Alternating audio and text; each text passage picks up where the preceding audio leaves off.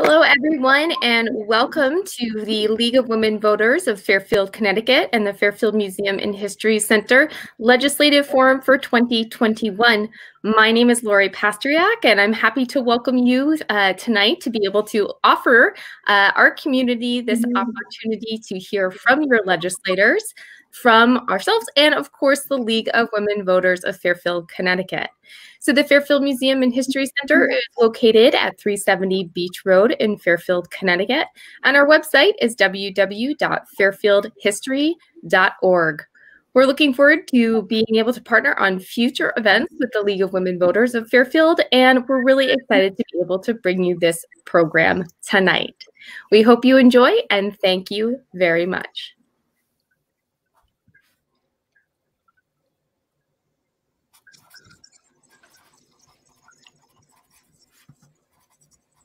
Good evening.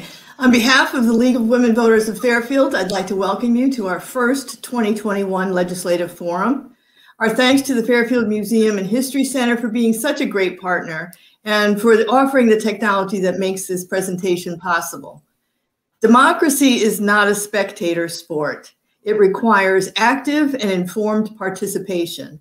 Forums like this educate both citizens and legislators about the issues that concern Fairfield. I'd like to thank our state representatives, Laura Devlin, Jennifer Leeper, Kristen McCarthy Vahey, and our state senator, Tony Hwang, for joining us tonight. We always appreciate that you take time out of what we know is very busy schedules for all of you.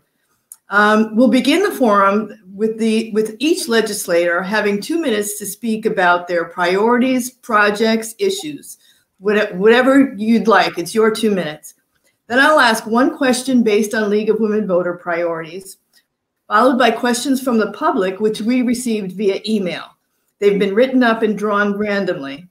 I do want to thank everybody for all the questions. They were great. We, we had a really good response and some really interesting questions. So, so let's begin the opening remarks. And uh, for the next two minutes, Laura, the floor is yours. Thank you, Bryce. And I really want to offer my thanks to the League of Women Voters and to the Fairfield Museum for hosting this forum tonight. I look forward to the time that we can be back in the museum and doing these forums uh, live. You know, one of the things that Bryce said is, you know, this is all about democracy and democracy is about being engaged. And um, this is such a great opportunity for uh, us to hear from you and for you to hear from us as well about what is happening in your state capital. Uh, because there are some big issues being discussed, and it's really important um, and sometimes it can be overlooked to focus on what's happening out of Hartford.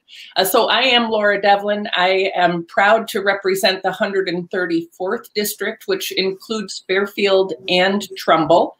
I am serving in my fourth term in the legislature, and I serve on the Finance, Revenue, and Bonding Committee, the Transportation Committee, the Transportation Bonding Subcommittee, the Education Committee, the Legislative Management Committee, and I am also a deputy Republican leader within our caucus.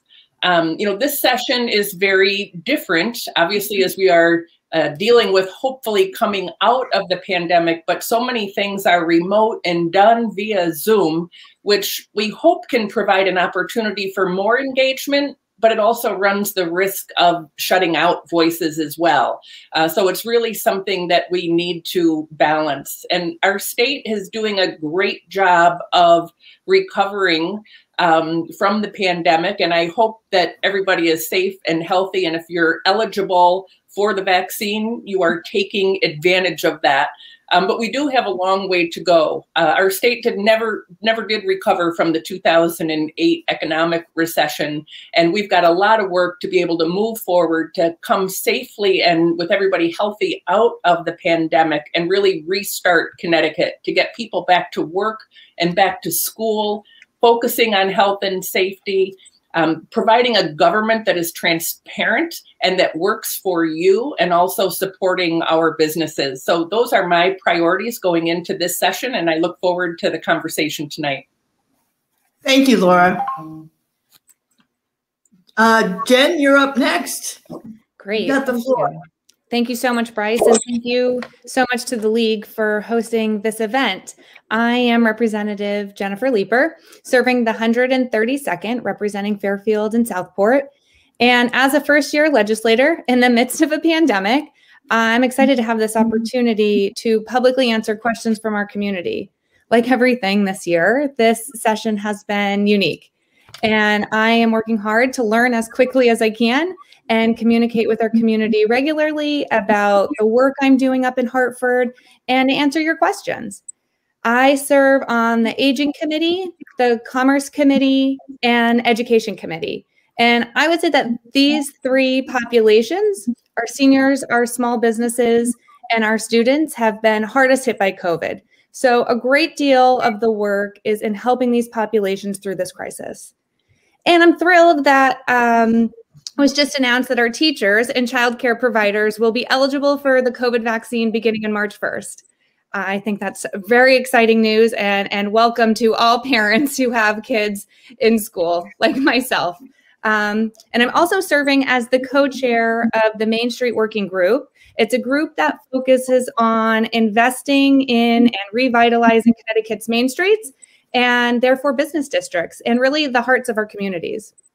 So, the Aging Committee's priorities are, of course, protecting seniors in congregate settings um, and battling the isolation our seniors were facing in these settings by ensuring they have easier access to their loved ones. And then also deterring age discrimination in hiring practices, uh, among many other things.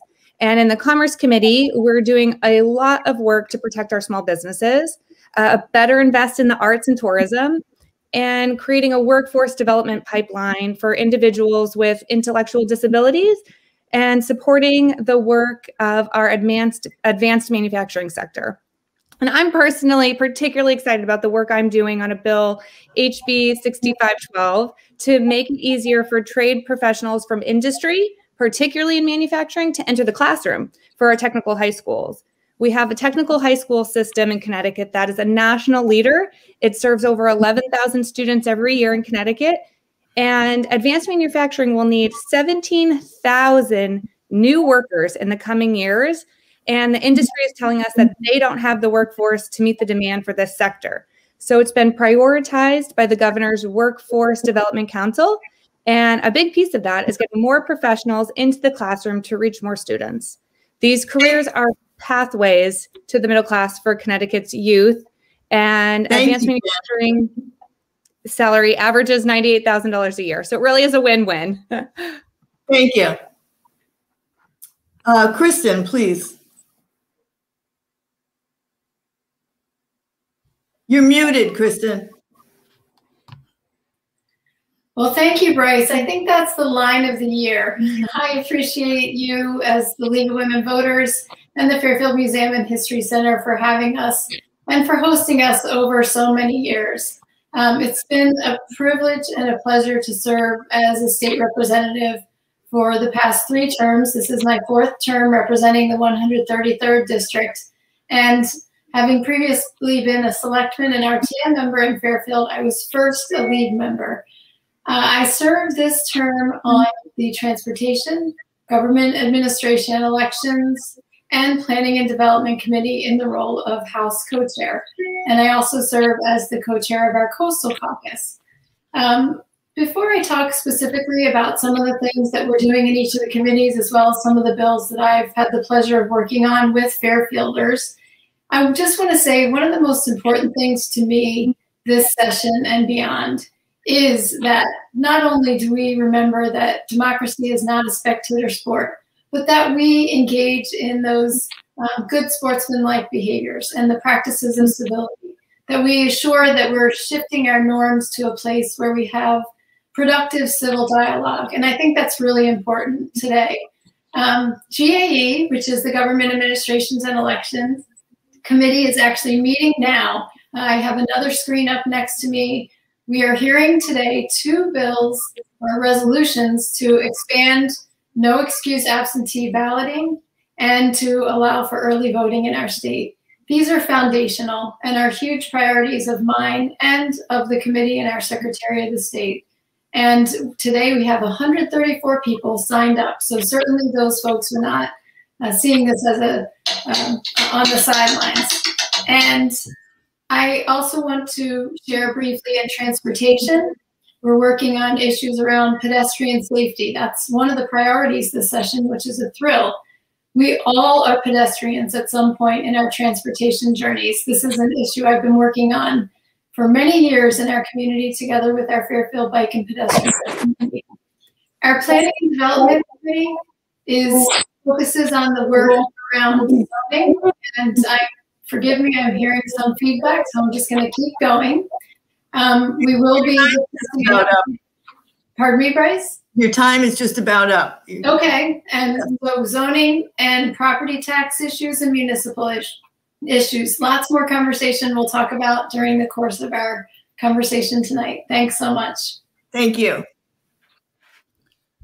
Tony, welcome. Thank you, Bryce. Great to see you always, and uh, thank you for the league. Uh, you you do such a great job in being engaged in the electoral process. Um, I am Senator Tony Hwang. I am the Deputy Senate, Senate Minority Leader. I am serving my actually seventh term in the General Assembly. Um, six years as a state rep and six years um, as uh, your state senator.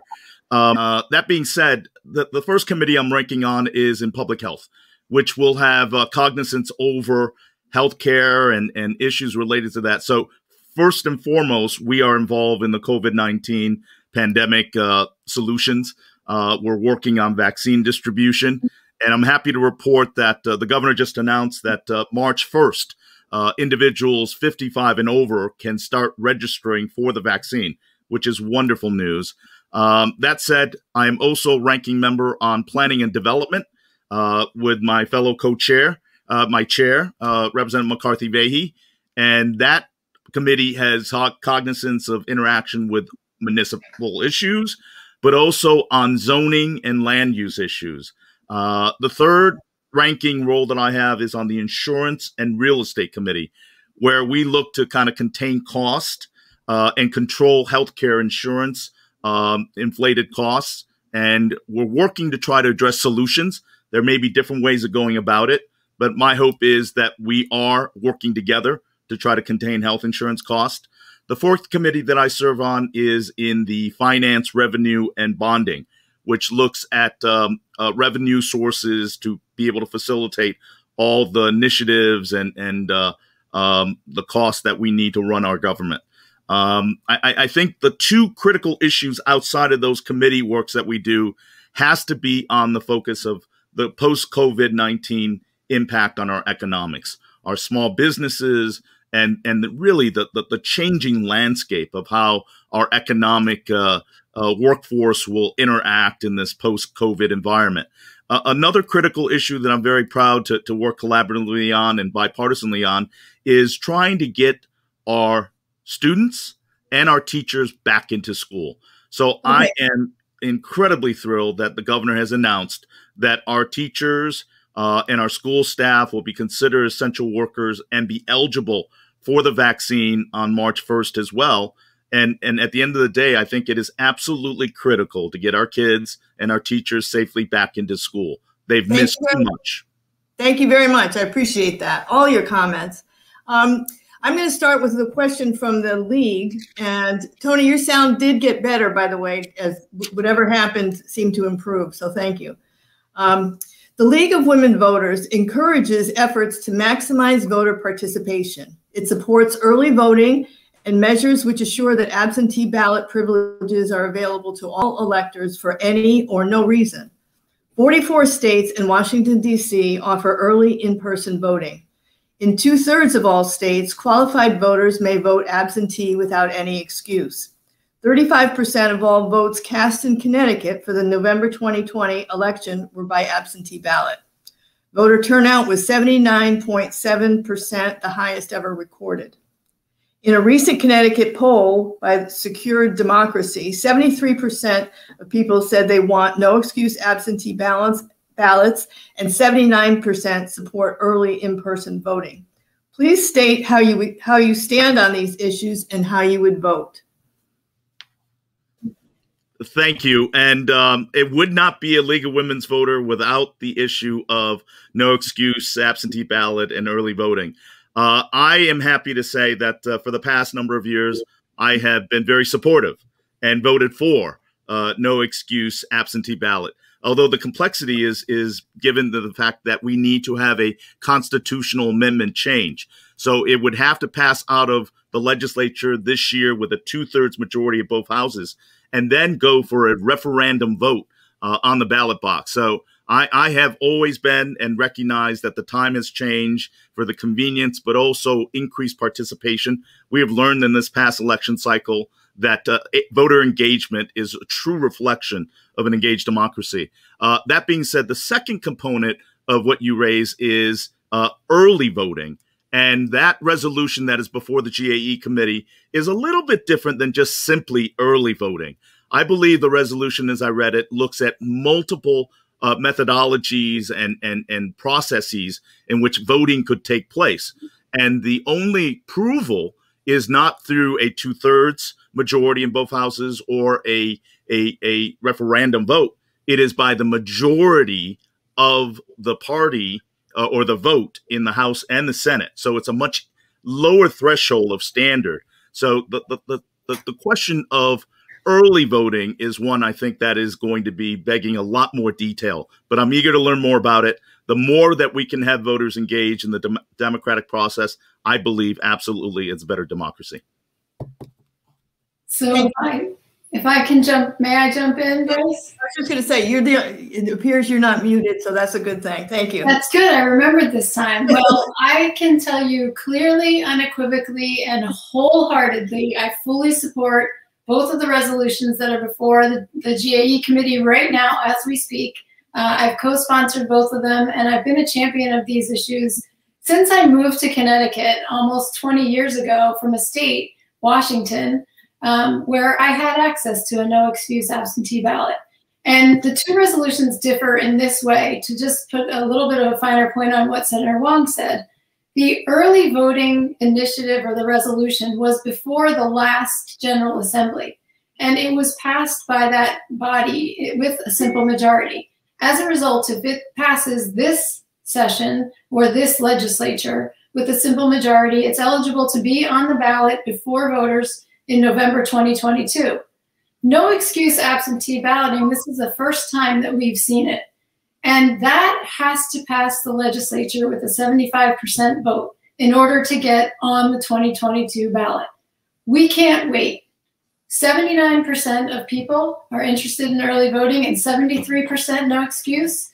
That's about what we need to get from the legislature to be able to put that no excuse absentee balloting on the ballot for the voters to then decide do we want to change our constitution?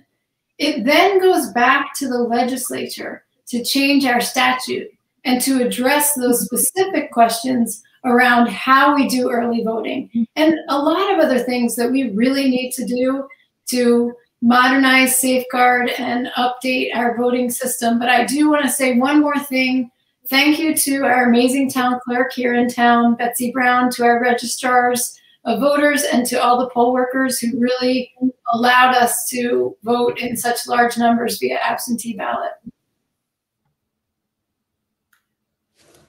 Jennifer, I see that you're unmuted, so you're next. Thank Happy you. to add on. I am definitely supportive of both no excuse absentee voting and early voting.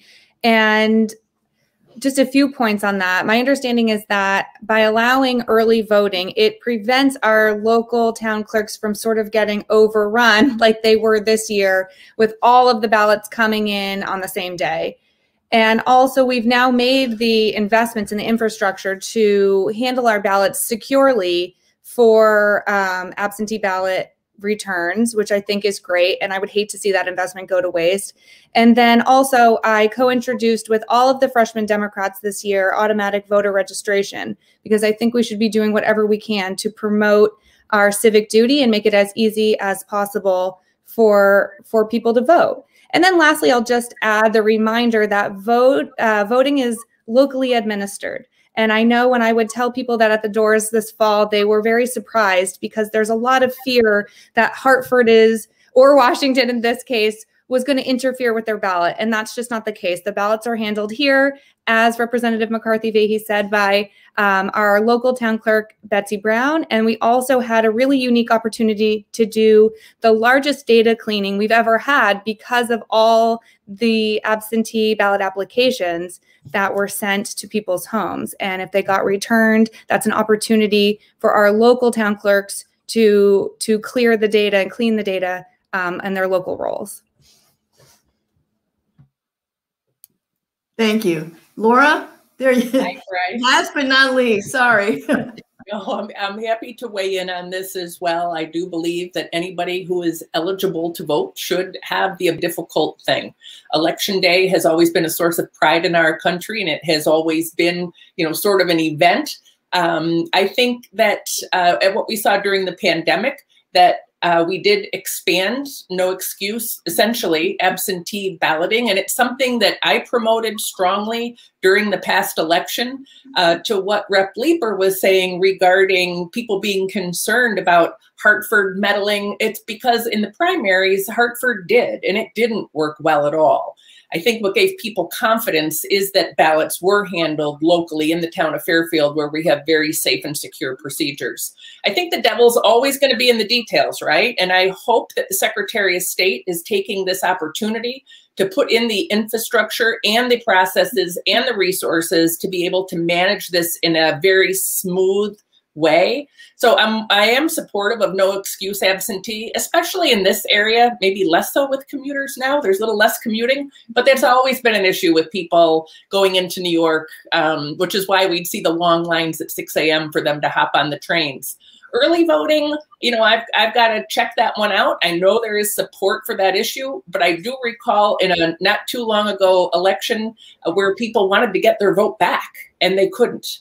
Um, but you certainly could with an absentee ballot. So I think it's something absolutely I'm open minded to, but I look forward to seeing how things move after today's lengthy hearing in the GAE committee. Thank you. Can I just uh, respond yes. to one point? That Hartford meddled in the sense that they mailed out all of those applications and the ballots, but our past ballots were still handled locally by our town clerk and not by Hartford. So I don't want any misconceptions that Hartford is meddling with people's votes. And I agree there were lots of bumps in in the mailing process. Um, and I hope that a lot of lessons and best practices were were learned through that. And I would follow along that line. And and uh, I know uh, Representative Devlin had served as the ranking uh, minority leader in GAE as I did as well for four years. So we're very aware of it. it it's interesting. Um, and, and invariably, you have a full panel of people who support it. But you also have individuals that I need to note that raises concern about security. And in fact, you need to look one town over in Bridgeport, where a Democratic senator actually raised a bill in her concern for potential fraud and security in the primary process. See, so I think most importantly, as we support this, that we need to be vigilant and ensure that all safety measures are in, involved and engaged, and so that one person, one vote is protected. But absolutely, I think we are ready as a, a state and as a society to move forward with, with no excuse absentee voting.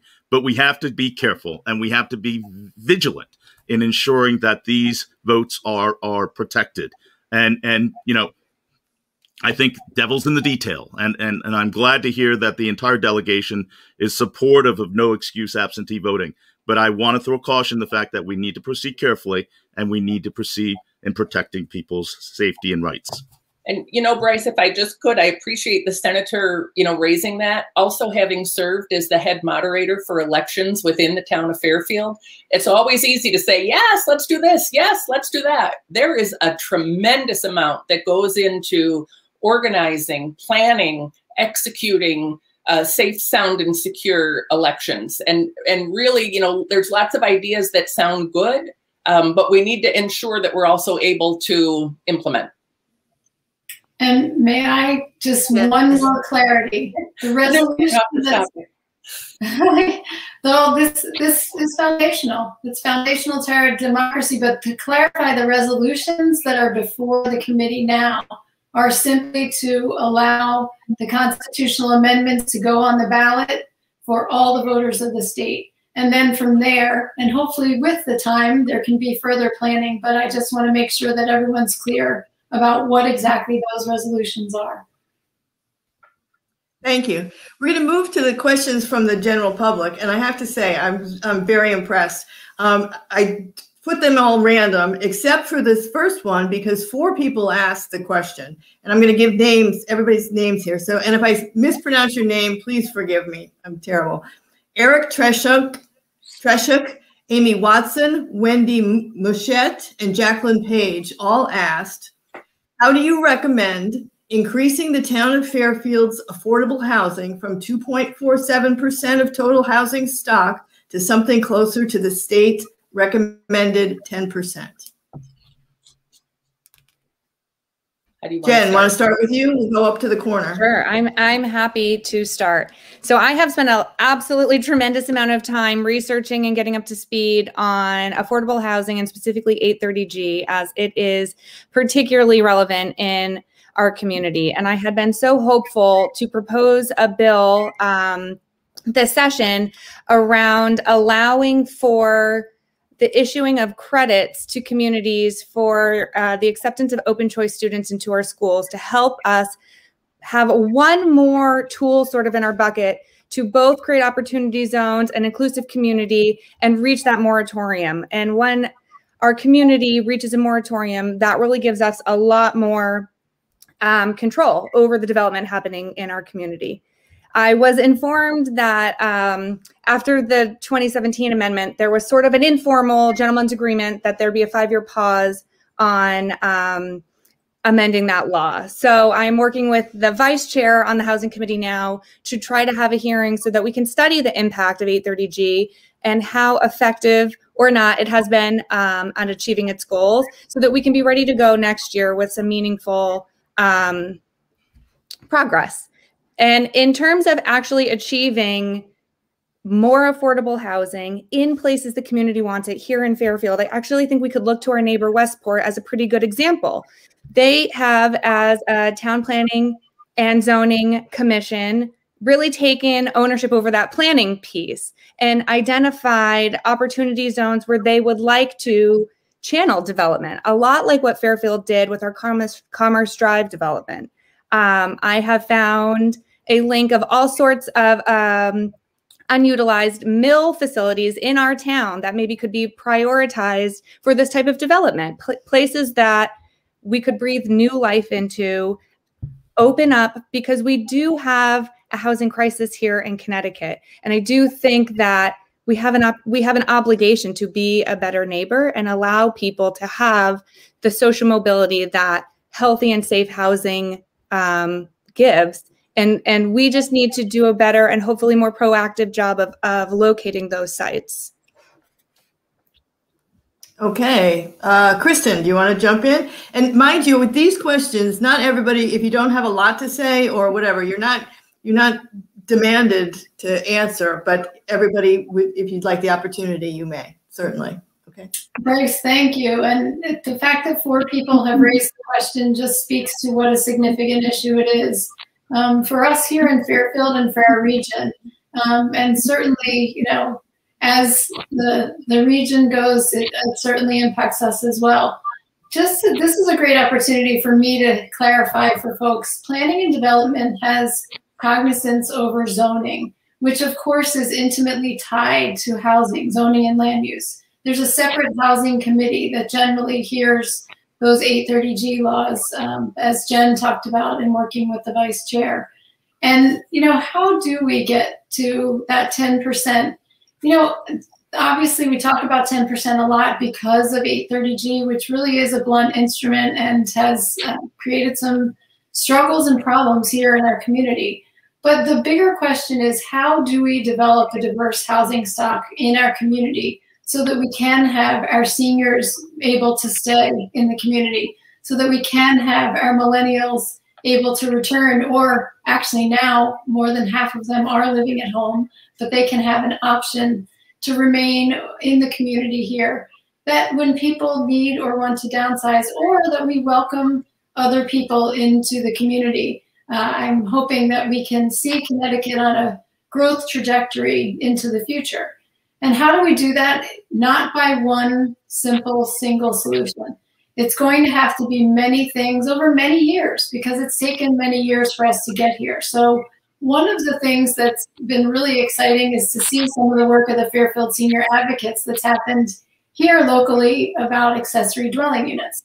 And this is happening actually all over the country, particularly in places like New England where we have an aging population, where there's a move for the ADUs, as we call them. That's one of the things we're going to be talking about in our committee this year for the state. How do we help support that?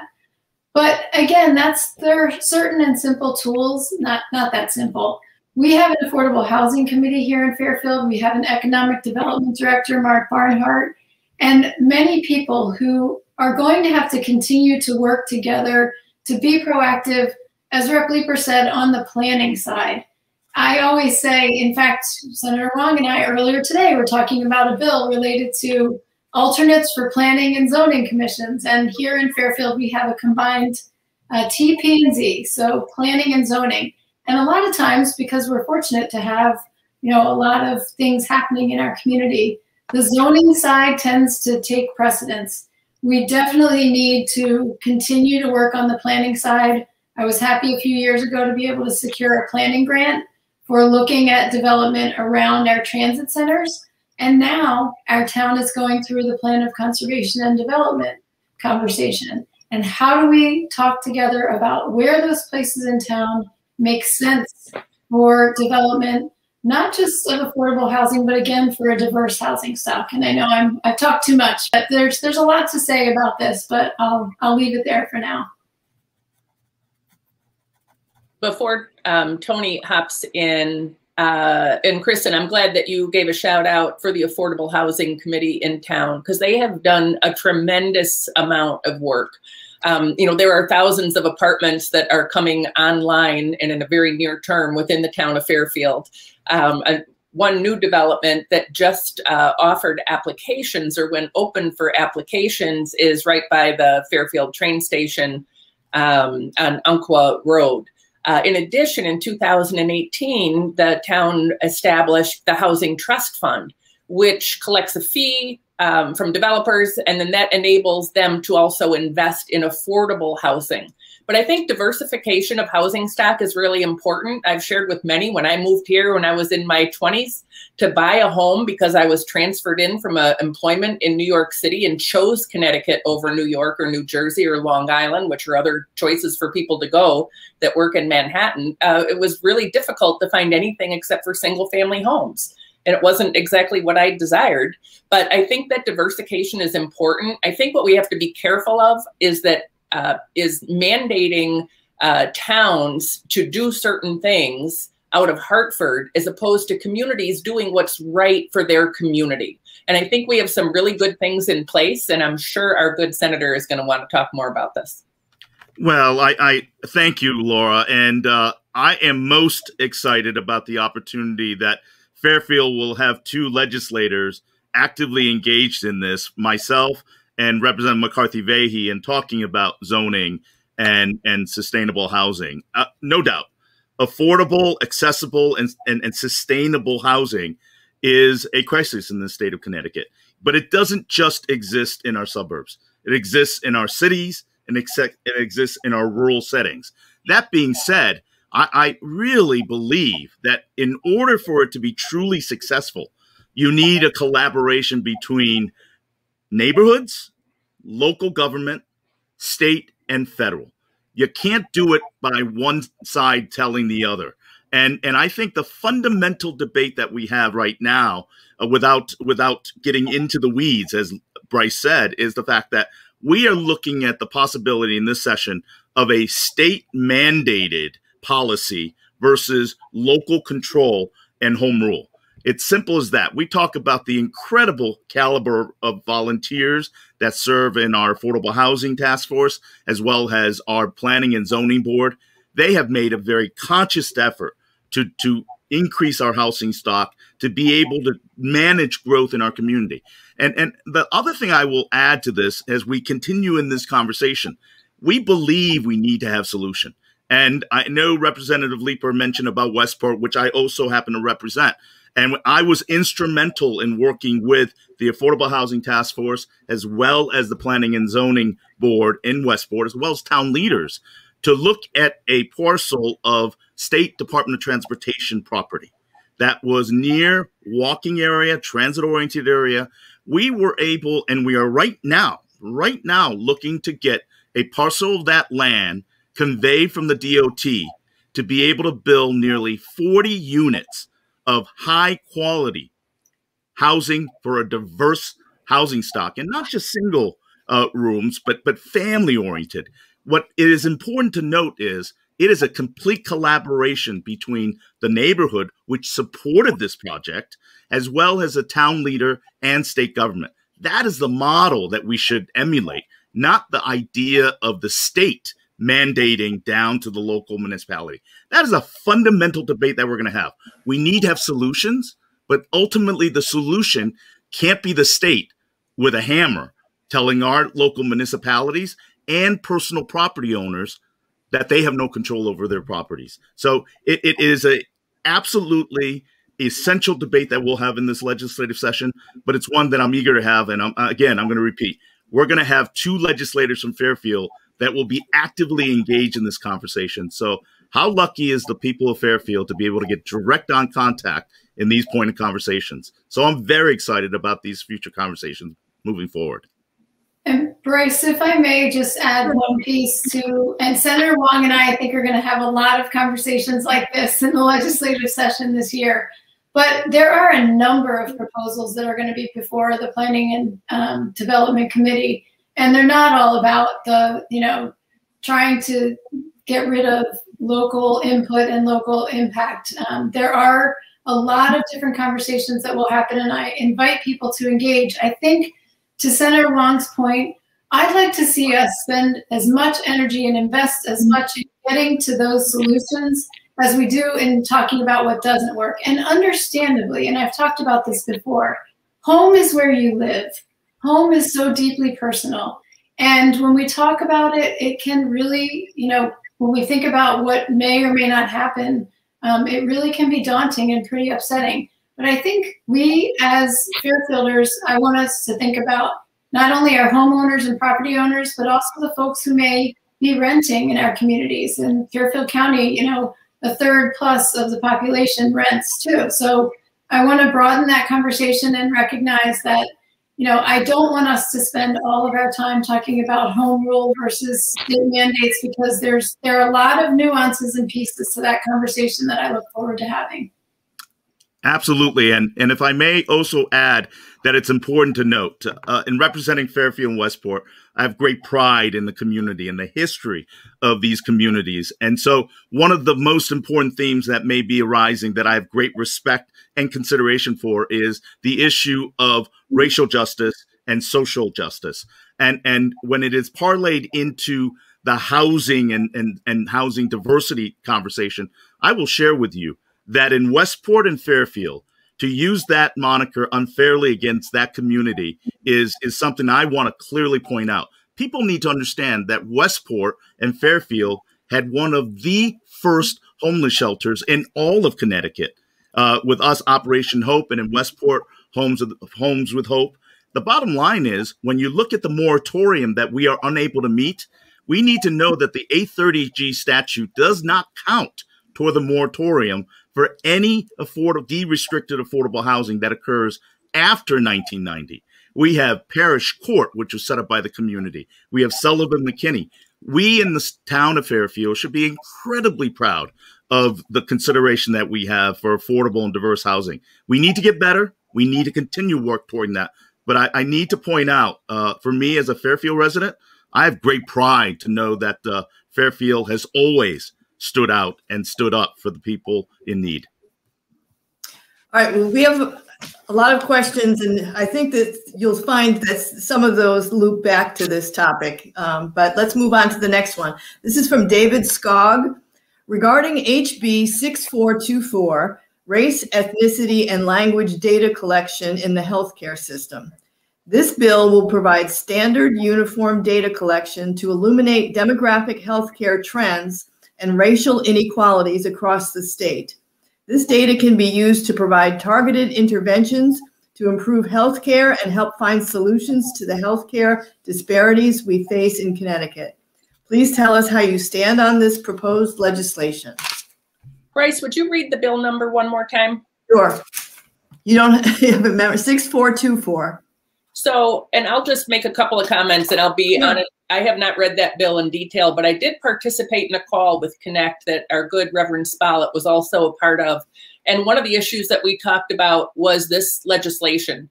Um, and I don't think it had a bill number at that time, or at least um, not something that I that I had. And in concept, it makes total sense.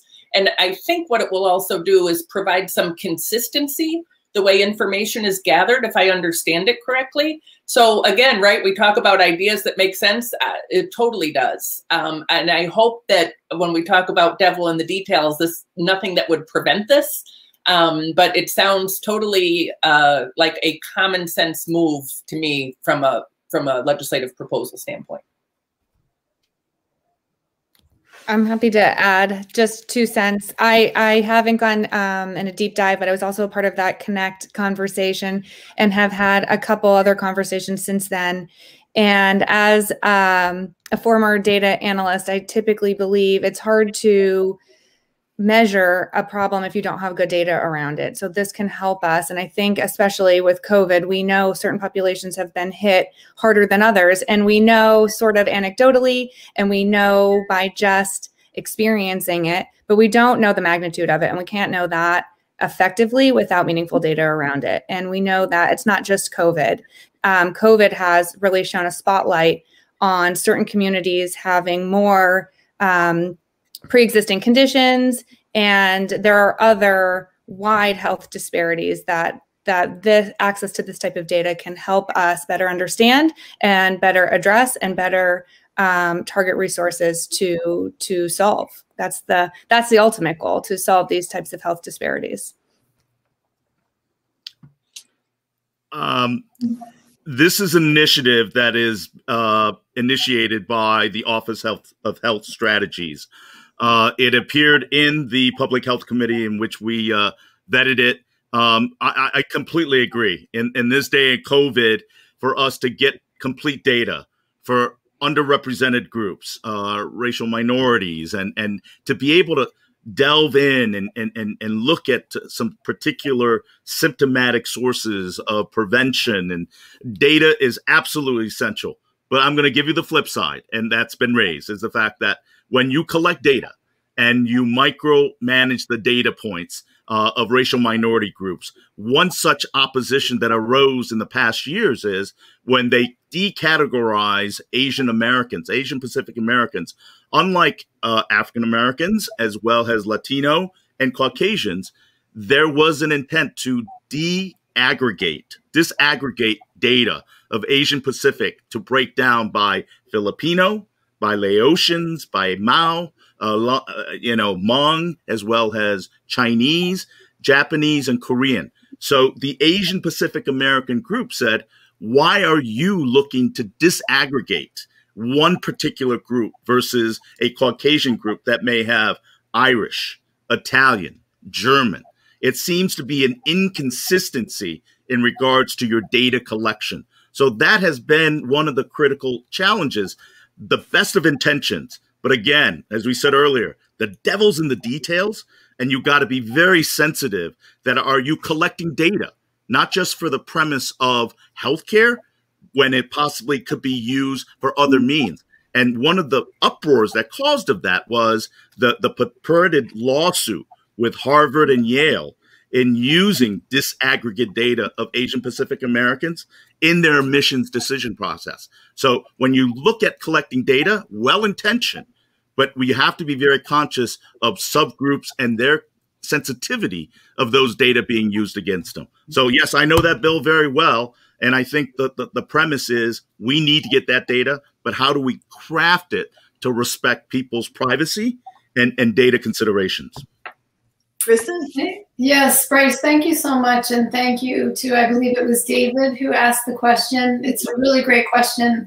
I appreciate Senator Hwang bringing up a bill. I believe it was actually in the Education Committee. So I remember the testimony, um, which was really, really interesting and elicited a lot of feedback from different groups within the Asian American community. And it's true, whenever we talk about race, um, data around race or if we're talking about racism, um, it, it's really hard. These are really difficult conversations. And one of the real benefits to data is it helps us to kind of step back and take a look as opposed to maybe what some of our feelings or thoughts. It's that, you know, hard evidence versus some of the anecdotal.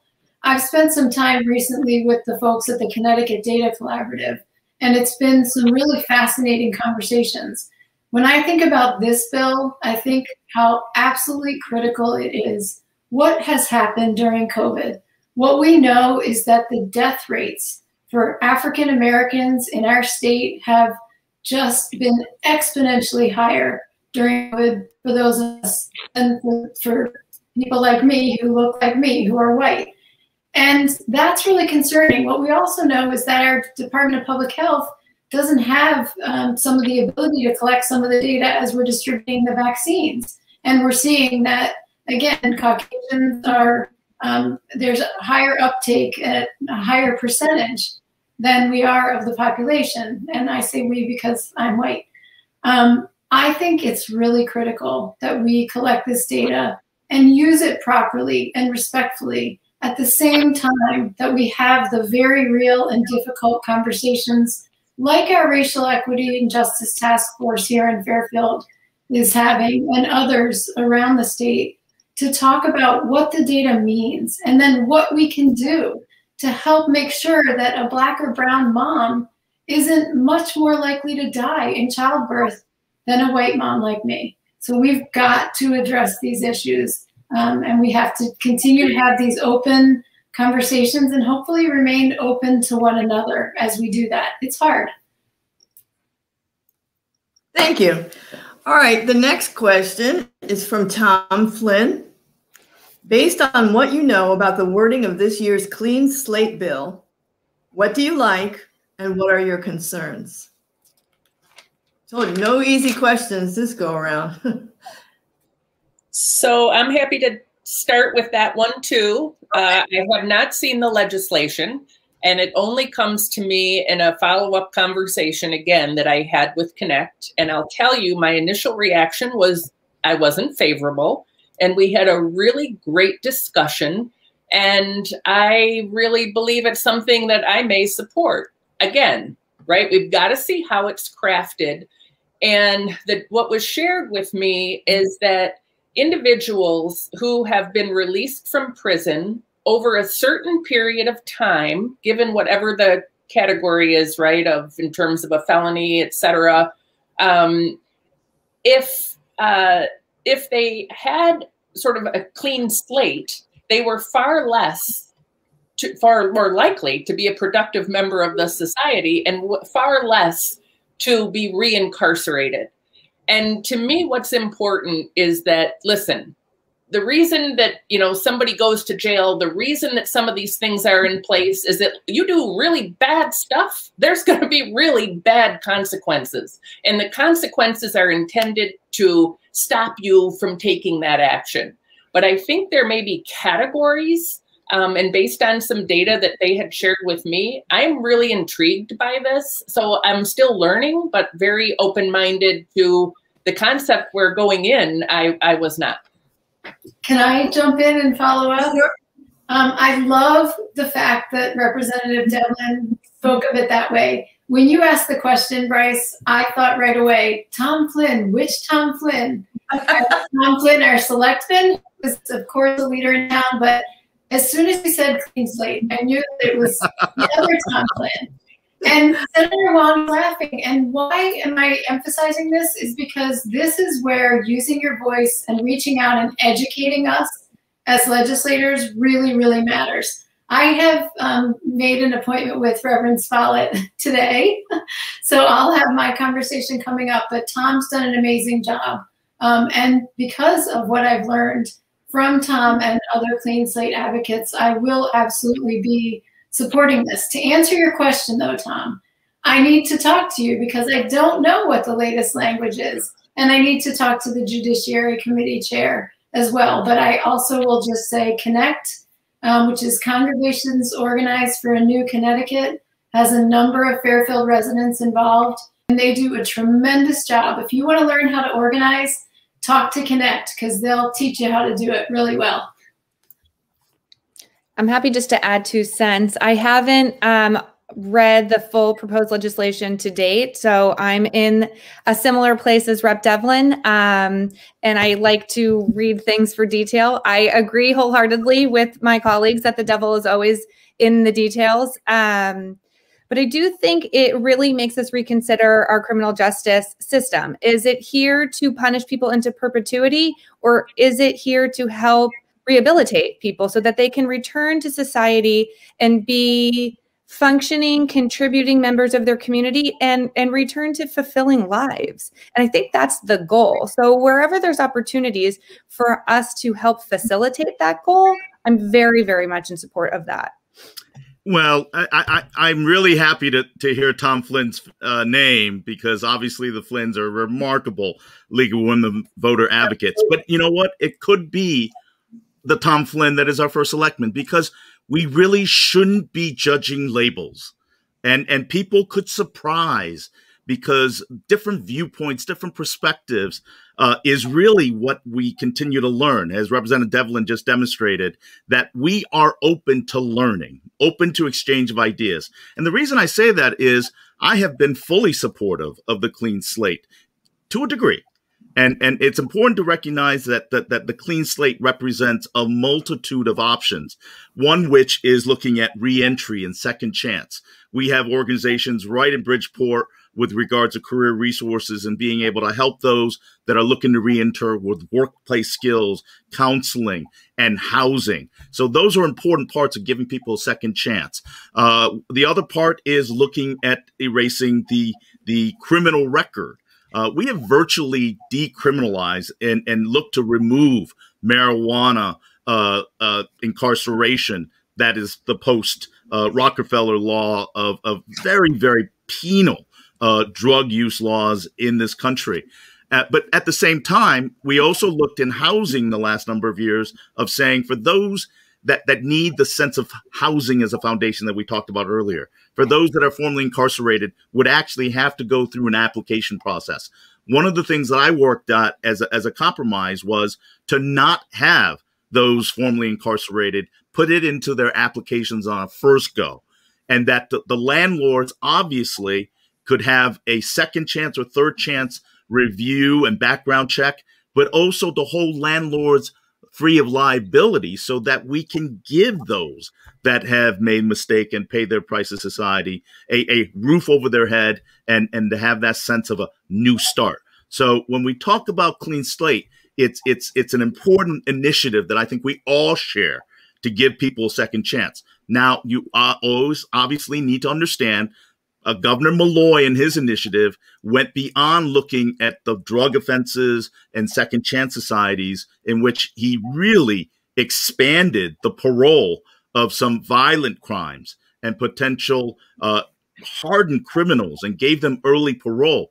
That is a significant difference than what we're talking about clean slate, people who have paid their debt, have been formerly incarcerated that need a second chance, I'm all for that. But obviously, we need to look at it on a case by case analysis that there are certain criminals that should never get out and pose a risk to our society and our communities. All right, thank you. We're going to move on to the next one. This is from Ray McElvey or McKelvey. Regarding the proposed mansion tax on properties valued over $430,000.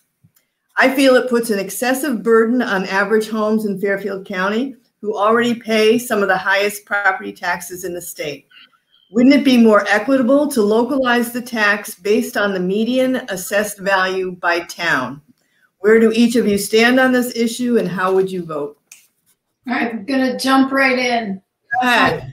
I do not support the proposed mansion tax and I use the word is just a misnomer for uh, an amount for uh, the kind of housing prices that we have prices that we have here in Fairfield and in Fairfield County. The property tax is one of the most regressive taxes that we have. And we talk a lot about property tax reform, and it's one of the most difficult things to do. You know, one thing that's really important to know is that any legislator can propose any bill in a given session, and there are there are some that, as Senator Hwang knows, we're going to have one in our committee. We hear a number of bills that we don't necessarily agree with, but sometimes when our leadership on both sides of the aisle proposes bills, we hear them and have the conversation. I think that you know the idea that people have behind some of these, perhaps, although I haven't spoken with them directly, is to look at how do we provide opportunity everywhere in the state. But back to the, I don't support that mansion tax. I'm happy to jump on also, uh, much to Senator Hwang's prior point um, about assuming, I, I was assuming that this was likely directed to Rep. McCarthy Vahey and I. And I also do not support um, this mansion tax. I agree that it's regressive. And I also think that it would serve to hurt the middle class, especially in a community like ours, where uh, assessed home at $430,000 is certainly nowhere near a mansion and quite likely somebody that's doing everything they can to afford to live in a community like ours, likely to be able to send their children to our schools and enjoy the opportunity that comes with living in a community like ours. Um, the piece of the bill that is intriguing, and again, this is certainly not the way I would go about it, but the goal is to better fund our pilot program, which is our payment in lieu of taxes. And Fairfield would very much benefit from a better funded pilot program because we do not um, earn any revenue via taxes for our two universities. And I think, as is quite infamous, um, our GE campus now is also not taxable property. And so, if we could get payment in lieu of those lost taxes, uh, that would benefit our community and likely uh, ease the burden of, of our property taxes. And that is something I'm very much in support of. Uh, and again, not via this this proposal.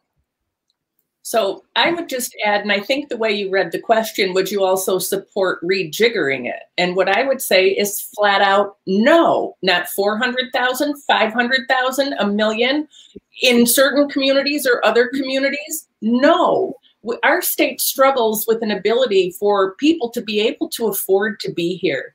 And we have seen proposal after proposal to raise taxes, to fine you if you don't vote, to put in a mileage tax to put in a mileage tax for trucks, to do the mansion tax, to do multiple things. And, you know, we talk about funding our municipalities. You know, our state government continues to spend. And, you know, it's regrettable that in this time when our citizens in the state, by and large, that work for private employers have really been struggling, some to keep their job, some that have lost their job, and state employee workers are getting pay increases and it, it just doesn't make sense. We had, um, you know, multiple historic sales tax increases in our state, the last of which part of that was go to fund our municipalities. That was separate from pilot because pilot isn't funded. The municipal reimbursement account still has never been distributed to our municipalities. And now we have a second proposal in front of the Finance Committee to vote on a new pilot program that is going to be funded somehow.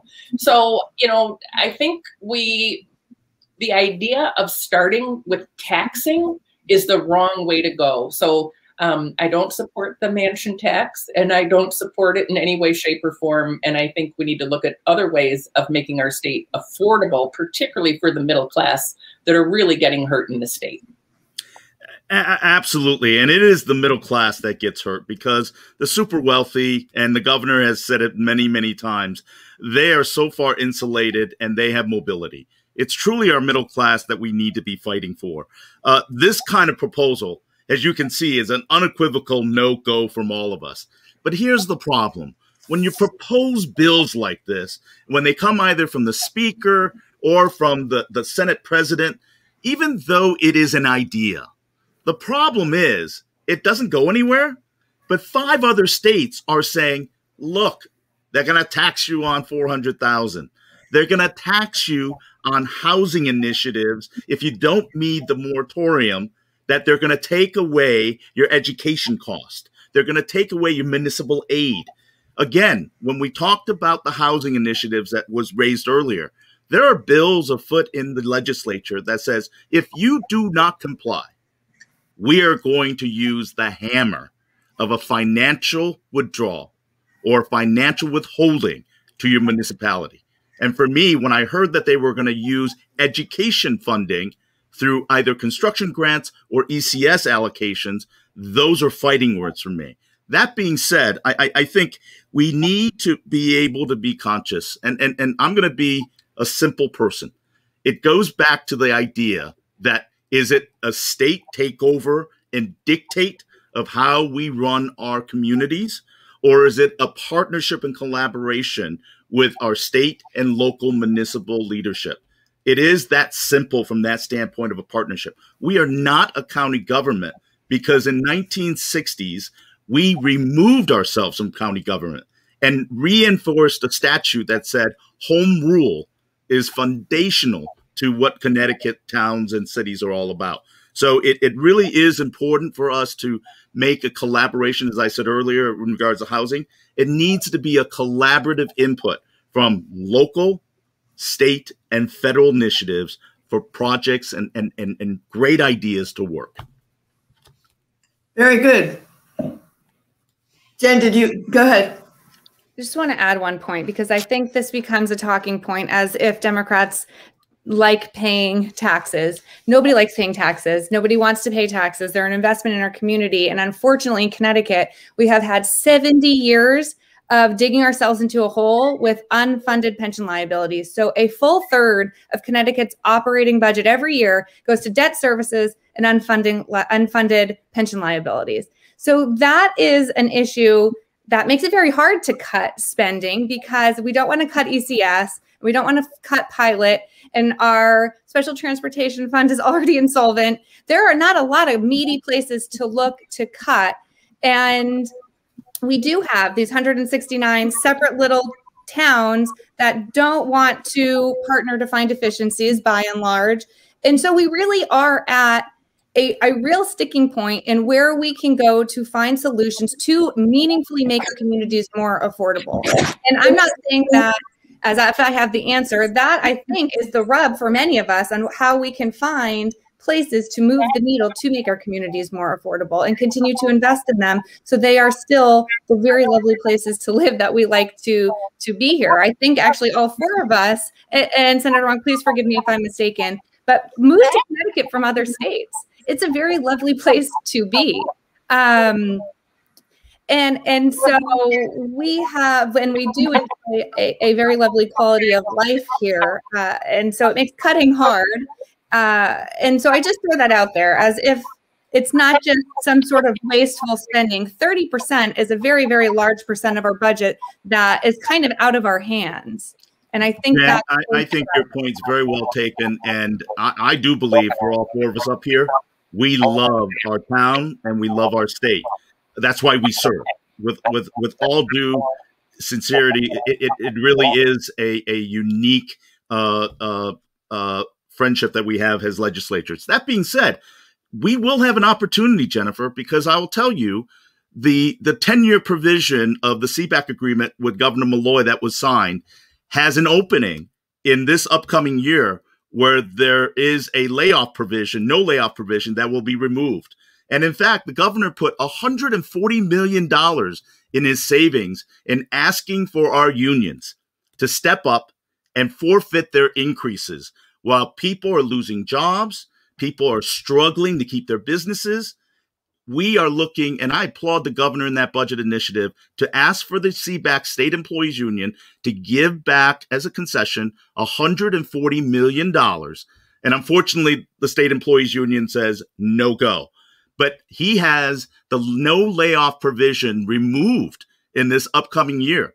And I hope for us as a legislative body that we step up and start attacking the pension liabilities that you talk about the the the the the, the, the borrowing that we initiate so often of. We finally have an opportunity as a legislative leader to step up and say, are we representing the special interest up in Hartford?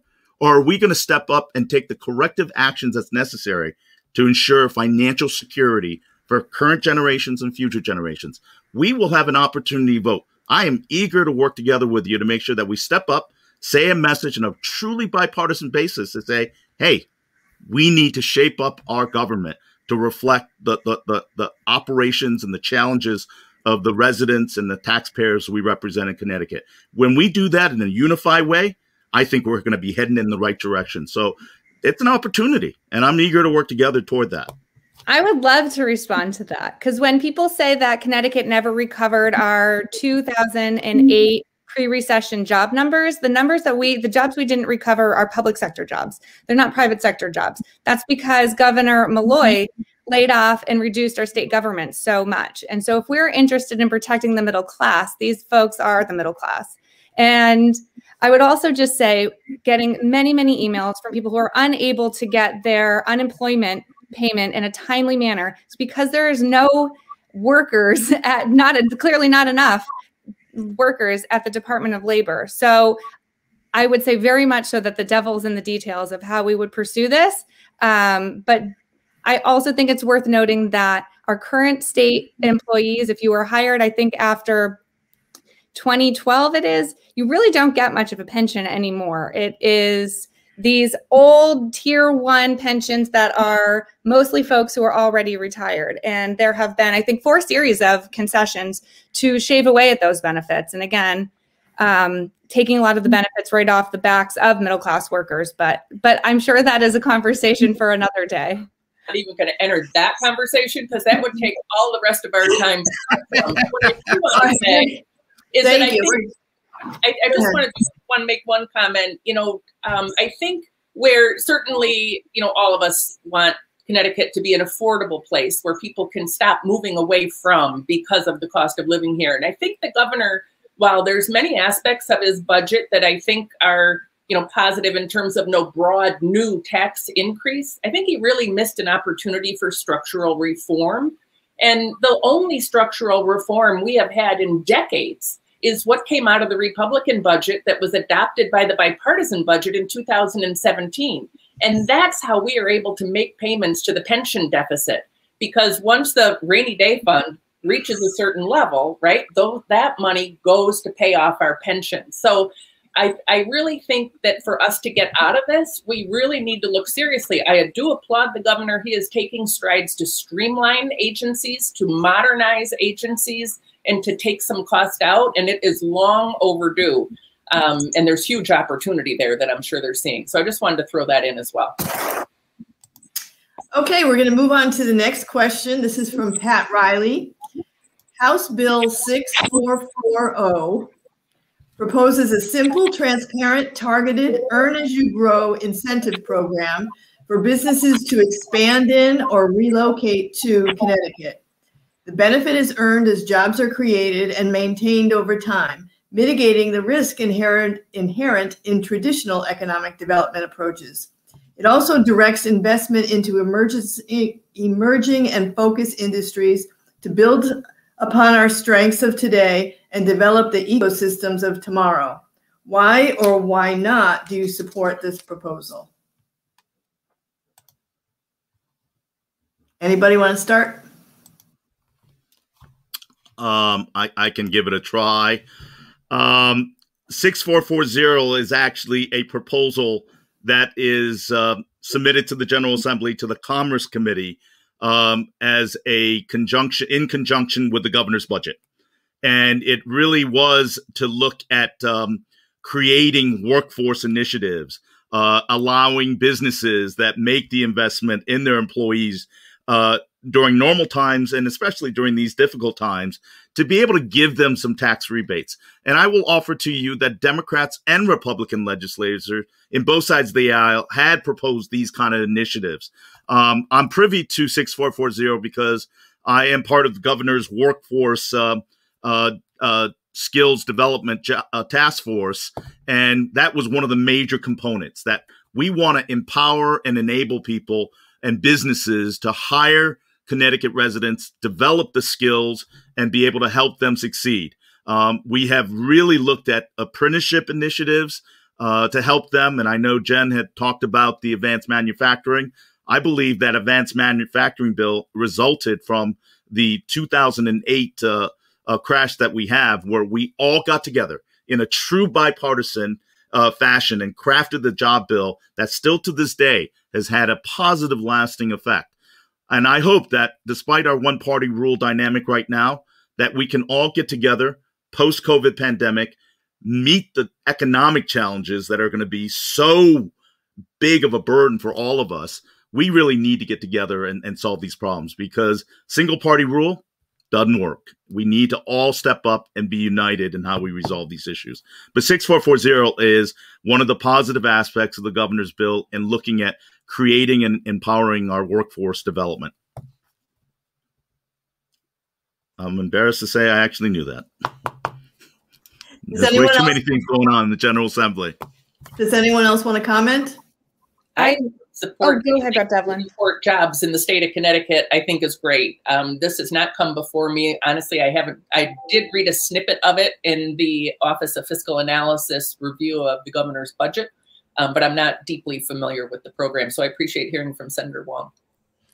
I was just going to add. I think that this bill is up in the Commerce Committee for public hearing next yes, um, next week. Uh, uh, next week, maybe tomorrow.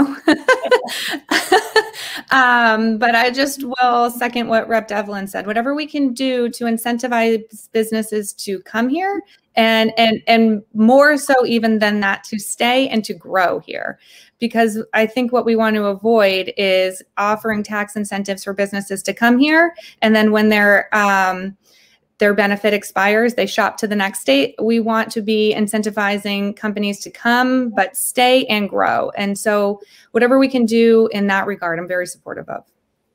And I would just add uh, 100% business retention is number one. It's a lot easier to keep a business here than it is to try and attract a new one.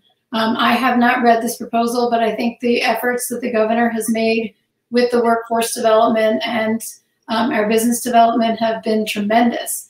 And I think back to the idea of there isn't one solution, this is one. Um, a couple of the others that I've been excited to be a part of over the years and hoping we can move the needle on are employee stock ownership plans and worker cooperatives, which help uh, do business wealth building, right? So we talk about home ownership as a way of wealth building, um, employee stock ownership as a way to transition companies that may have uh, be a family business and that are looking to sell and might sell to some out-of-state corporation could instead be owned by the workers. And so that's one um, one piece. excuse me. And the other piece in terms of helping our workers and our businesses is an exciting new opportunity uh, that I've learned about recently from a Fairfield resident, which is micro credentials and how we can use those to help our businesses gain help workers gain the skills that they need for businesses because we have especially in southeastern connecticut where we have electric boat and the submarine force uh, development we have a lot of jobs that need people with the right skills. So it's it's a menu of things and we've got to be looking at all of those. Okay thank you. We're going to move to the next question. This is from barbara thumb. Regarding legalization of medical marijuana, have guidelines been established for who can use, how, who, where to sell and use, what to do about those previously arrested for possession and use, and estimated revenues? And what is your position?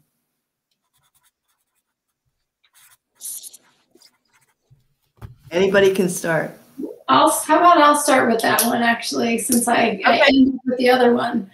Um, I actually was probably in the middle of the night last night, uh, emailing back and forth with some folks from the governor's office. I have not gone um, deep into the policy with this, but what I can say is I have an interesting perspective as the co-chair of Fairfield Cares here in the community. And one of the biggest concerns that I have is just to look at youth prevention and I want to be sure that anything that we do in terms of legalizing marijuana, just to clarify, medical marijuana is legal already. So I think um, you, she was probably referring to uh, legalizing marijuana at large.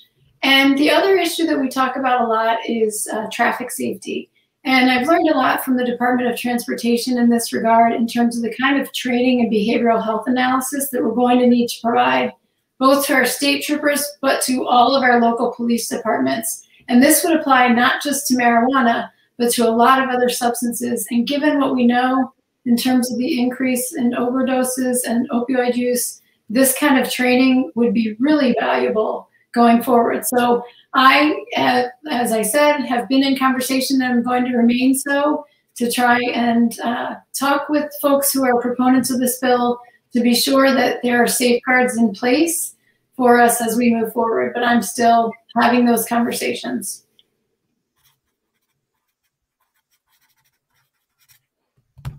Anyone else? Yeah. Um, it's important to have a policy perspective when you look at legalization of marijuana, regardless of the merits of it. Um, if you're looking to legalize marijuana for budgetary and financial purposes, it's wrong because it is a much more in depth societal concern that we need to understand. And when you look at, at this country and in this state and this town and neighborhoods impacted by opiate and, and substance abuse in our communities, you realize that uh, to this day, marijuana is still a class two narcotic in, in this country. So we, we need to tread very carefully. And, and if we're doing it for money, it's the wrong way. We should look at the socioeconomic as well as ramifications in regards to what uh, Representative McCarthy Vahey said, law enforcement and, and youth prevention. But what I ask most important of all is a level of consistency. I, I, I find it very frustrating that in the General Assembly that we have moved very aggressively and rightfully to now ban vaping for, for children under 21, to now look to remove flavor as well as uh, menthol in regards to the lure of having younger generations be potentially addicted to tobacco and vaping. But at the same time, we're saying, yeah, let's legalize marijuana. There's an inconsistency in that policy that I work very hard to try to point out. If you're going to ban vaping, if you're going to ban tobacco because you want to protect a, a future potential generation of being addicted to it, then you should not be looking to legalize marijuana. So I ask for a level of consistency, but also recognition that when we make that permissiveness, and the, the argument used that every other state around us is doing it is not good enough for me. That also applies to legalize online and sports gambling. We need in the state of Connecticut to maintain that delicate balance and the responsibility that we have as policymakers to do the right thing and to be consistent in our policy making. I'm happy to add my two cents to that. I really align with what Senator Hwang said, and I think the governor has learned this proposal has come up before. And from what I understand, and I haven't seen the legislation, there is a public hearing on Friday, one of two big public hearings that'll be taking place on that day. Um, there's a lot of focus on lots of different aspects of it, lots of focus on equity, um, ensuring that a lot of the retail locations would be in areas that traditionally have been targeted in terms of drug abuse or arrests. Um, there's going to be a lot of carrots for municipalities. Uh, that hey, we're going to take this money, we'll fund pilot. We're going to take this money, we're going to give it back to you and relieve your property taxes. So I don't know that that's the right policy decision. Um, we heard this summer the Speaker of the House saying, I support this and it's not revenue. It is not for revenue. I would not support it for revenue. And the governor is bringing this out for revenue. So I, I think I look forward to the discussions on this. It'll be a big issue this session. Um, I'm happy just to add a few thoughts. Legalization has never been a big passion issue of mine, but it has very, very broad public support. I agree that this is an issue where maybe more than almost anything the devil's in the details in the sense that we need to make sure we get it right and that we are ensuring that it is safe for only the right people and certainly not our young people and certainly not driving under the influence and all of those very very important laws. But i also think about it from a safety perspective in the sense that I would say that marijuana use is almost ubiquitous. And if this is an opportunity to get it out of the shadows and out of the black market and, and regulated to be a safer product that we know people are using, then we could actually have an opportunity to increase safety here. And very much to Senator Hwang's point with the opioid um, crisis, often people are getting things that are very different than what they thought they were getting and and this could be an opportunity to prevent a lot of that uh, uh of course not legalizing opioids but i think we've seen cases where people were purchasing marijuana that was laced with things and that's that's very very dangerous. Um, so if there's an opportunity to make sure what is available is safer for folks. I, I think that's great. And then, you know, I was driving up 91 the other day and there are enormous billboards telling people just come over to Massachusetts to buy your marijuana here. So if that's the case, people are just leaving the state to spend their money to buy marijuana legally in other places. Um, I think I think we need to wrestle with the reality that that people are are using marijuana products and and we want to make sure that they're getting them safely here in our state and also might as well get the revenue and and perhaps it could be a win-win as long as there are the appropriate um, regulations and, and safety uh, parameters around it. And Bryce, if I may, you know, wearing, wearing my prevention hat, um, I just need to say very clearly and unequivocally, marijuana legalization would be for 21 and older. No marijuana use is safe for a developing brain. And that is a clear and unequivocal message. The Tobacco 21 legislation was, again, to prevent our youth and young adults under age 21. So I just want to be clear that uh, that's an important message and something that we see, which is that students and parents have a lower perception of harm. That's been happening over a period of a number of years prior to the legalization conversation here in Connecticut.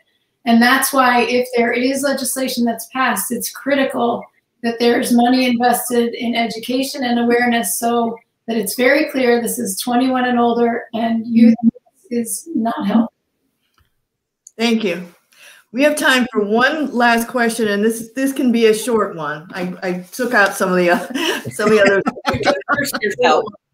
uh, this is from Jonathan Elkind.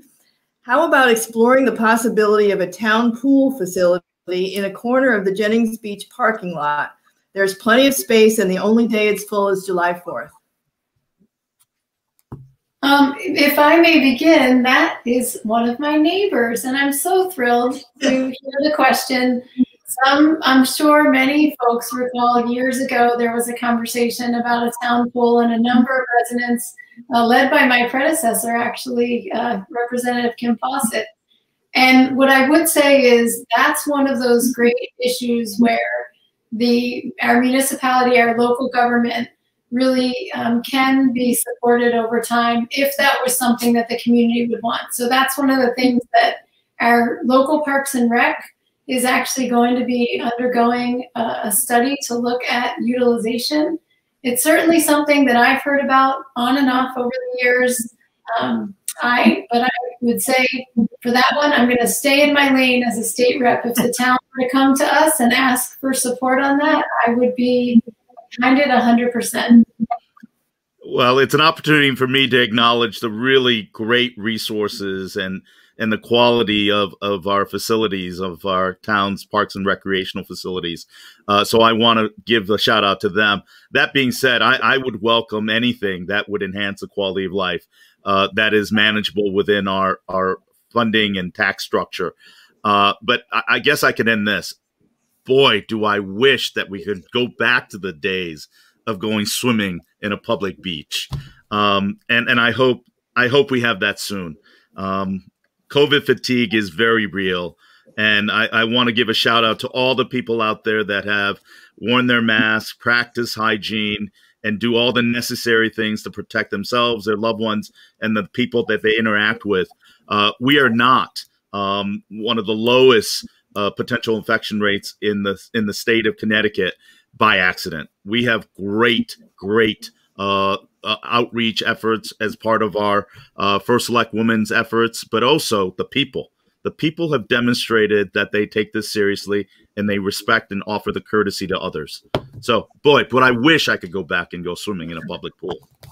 Hey, not to weigh in on should we, shouldn't we, I will just say that where I grew up, I learned to swim at our Lions Club pool and our community pool uh, became a source of a job for me and many people in our community. It was run by our Parks and Rec and provided employment for us when we were younger. I taught swimming lessons. I was a lifeguard. I worked concessions.